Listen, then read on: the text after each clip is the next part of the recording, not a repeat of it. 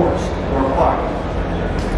And based on all that charging and driving data that we get from uh, our drivers, we are able to predict when and where it becomes busy in the charging network, allowing us to preemptively reroute people via chargers that are not busy, and basically optimizing for total travel time.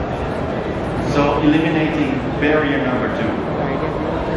Uh, the is our GraphQL API, which can be integrated into existing front-end solutions. For instance, connected car applications from automotives. Uh, it can be integrated into the car.